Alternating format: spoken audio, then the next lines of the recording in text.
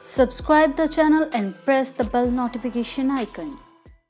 ਆਉਂਦੀ 5 ਜੂਨ ਨੂੰ Dastane Miri Piri film release ਹੋਣ ਜਾ ਰਹੀ ਹੈ, ਜਿਸ ਦੇ ਸਬੰਧ ਵਿੱਚ ਸਿੱਖ ਜਗਤ ਵਿੱਚ ਭਾਰੀ ਰੋਸ ਪਾਇਆ ਜਾ ਰਿਹਾ ਹੈ। ਇਸ ਫਿਲਮ ਦਾ ਵਿਰੋਧ ਕਰਨ ਲਈ ਪਟਿਆਲਾ ਵਿਖੇ ਯੂਨਾਈਟਿਡ ਸਿੱਖ ਪਾਰਟੀ ਵੱਲੋਂ ਇੱਕ ਪ੍ਰੈਸ ਕਾਨਫਰੰਸ ਕੀਤੀ ਗਈ।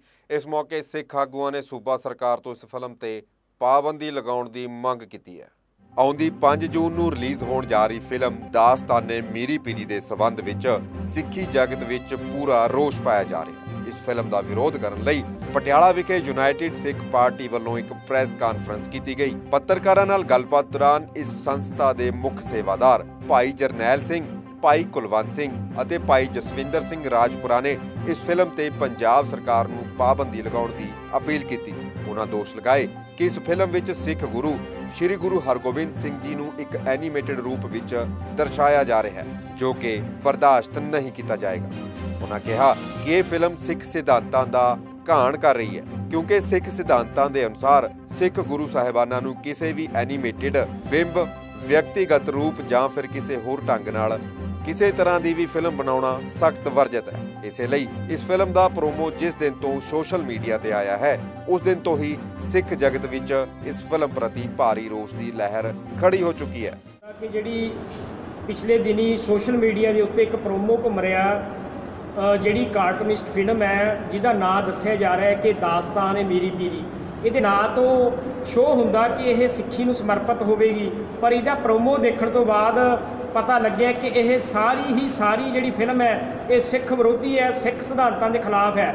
ਕਿਉਂਕਿ ਇਸ ਫਿਲਮ ਦੇ ਵਿੱਚ 6ਵੇਂ ਪਾਤਸ਼ਾਹ ਗੁਰੂ ਹਰਗੋਬਿੰਦ ਜੀ ਨੂੰ ਇੱਕ ਕਾਰਟੂਨ ਦੇ ਰੂਪ ਵਿੱਚ ਦਿਖਾਇਆ ਗਿਆ ਇਸ ਫਿਲਮ ਦੇ ਅੰਦਰ।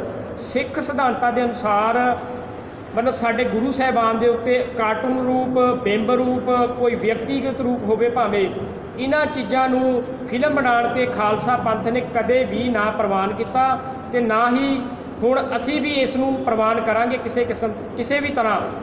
ਤੇ ਪੰਜਾਬ ਸਰਕਾਰ ਨੂੰ ਅਪੀਲ ਕਰਦੇ ਆ ਜਿਹੜੀ ਅੰਮ੍ਰਿਤਸਰ ਦੀ ਇਹ ਪ੍ਰੋਡਕਸ਼ਨ ਕੰਪਨੀ ਹੈ, ਇਹਨੂੰ ਜਲਦ ਤੋਂ ਜਲਦ ਬੈਨ ਕੀਤਾ ਜਾਵੇ।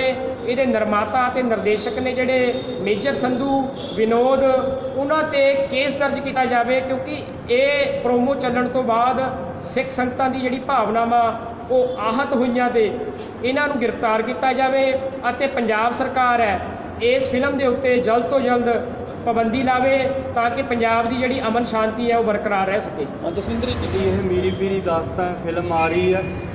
ਇਹਦੇ ਵਿੱਚ ਗੁਰੂ ਸਾਹਿਬ ਨੂੰ ਕਾਰਟੂਨ ਦੇ ਰੂਪ ਵਿੱਚ ਦਿਖਾਇਆ ਗਿਆ ਔਰ ਮੈਂ ਸਮਝਦਾ ਵੀ ਇਹਨਾਂ ਗੱਲਾਂ ਦਾ ਪ੍ਰਭਾਵ ਇਹ ਪੈ ਰਿਹਾ, ਤੁਸੀਂ ਇਹ ਦੇਖਿਆ ਜਿਵੇਂ ਗੁਜਰਾਤ ਦੇ ਵਿੱਚ ਇੱਕ ਗੁਰੂ ਨਾਨਕ ਸਾਹਿਬ ਦੀ ਮੂਰਤੀ ਸਥਾਪਿਤ ਕਰਕੇ ਵੀ ਉਹਨਾਂ ਨੇ ਇੱਕ ਮੰਦਿਰ ਬਣਾ ਦਿੱਤਾ। ਉਹ ਹੈ ਮੂਰਤੀ ਦਾ ਹੀ ਰੂਪ, ਉਹਨੂੰ ਬੜਾਵਾ ਦੇ ਰਹੇ ਨੇ ਹੌਲੀ ਹੌਲੀ ਜੋ ਕਿ ਸਾਡੇ ਸਿੱਖ ਸਿਧਾਂਤ ਦੇ ਅਨੁਸਾਰ ਬਿਲਕੁਲ ਗਲਤ ਹੈ। ਗਵਰਨਮੈਂਟ ਕੋ ਮੰਗ ਕਰਦੇ ਆ ਕਿ ਇਸ ਤੋਂ ਪਹਿਲਾਂ ਸਿੱਖ ਸੰਗਤਾਂ ਸੜਕਾਂ ਤੇ ਉਤਰਨ, ਇਸ ਫਿਲਮ ਨੂੰ ਰਿਲੀਜ਼ ਹੋਣ ਤੋਂ ਪਹਿਲਾਂ ਪਹਿਲਾਂ ਇੱਥੇ ਤੁਰੰਤ ਪਾਬੰਦੀ ਲਾਈ ਜਾਵੇ ਤਾਂ ਕਿ ਪੰਜਾਬ ਦਾ ਜਿਹੜਾ ਮਾਹੌਲ, ਉਹ ਸ਼ਾਂਤ ਬਣਿਆ ਰਹੇ। ਸਰਕਾਰ ਕੋਲੋਂ ਅਸੀਂ ਇਸ ਗੱਲ ਦੀ ਉਮੀਦ ਵੀ ਰੱਖਦੇ ਹਾਂ ਕਿ ਇੱਥੇ ਤੁਰੰਤ ਜਿਵੇਂ ਨਾਨਕ ਸ਼ਾਹ ਫਕੀਰ ਨੂੰ ਵੀ ਰੌਲਾ ਪੈਣ ਤੋਂ ਬਾਅਦ ਸਰਕਾਰ ਨੇ ਐਕਸ਼ਨ ਲਿਆ ਬੰਦ ਕਰਵਾਈ ਤੇ ਮੈਂ ਹੁਣ ਅਪੀਲ ਕਰਦਾ ਕਿ ਉਸ ਤੋਂ ਪਹਿਲਾਂ ਹੀ ਕਿ ਕਿਸੇ ਤਰ੍ਹਾਂ ਦਾ ਮਾਹੌਲ ਖਰਾਬ ਹੋਵੇ ਇੱਥੇ ਪਾਬੰਦੀ ਲੱਗਣੀ ਚਾਹੀਦੀ ਹੈ ਜੋ ਸਾਡੇ ਸਿੱਖ ਸਿਧਾਂਤਾਂ ਦੇ ਉਲਟ ਹੈ। ਕੱਲੀ ਫਿਲਮ ਤੇ ਪਾਬੰਦੀ ਦੀ ਹੁਣੇ ਤਾਂ ਆਉਣ ਵਾਲਾ ਸਮਾਂ ਹੀ ਦੱਸੇਗਾ ਕਿ ਕੀ ਇਸ ਫਿਲਮ ਤੇ ਰੋਕ ਲੱਗਦੀ ਹੈ ਜਾਂ ਨਹੀਂ। ਸਟਾਰ ਕੈਨੇਡਾ ਟੀਵੀ ਲਈ ਨਿਊਜ਼ ਡੈਸਕ ਤੋਂ ਹਰਿੰਦਰ ਟਿਵਾਣਾ ਦੇ ਨਾਲ ਪਟਿਆਲਾ ਤੋਂ ਪਿਊਰੋ ਰਿਪੋਰਟ।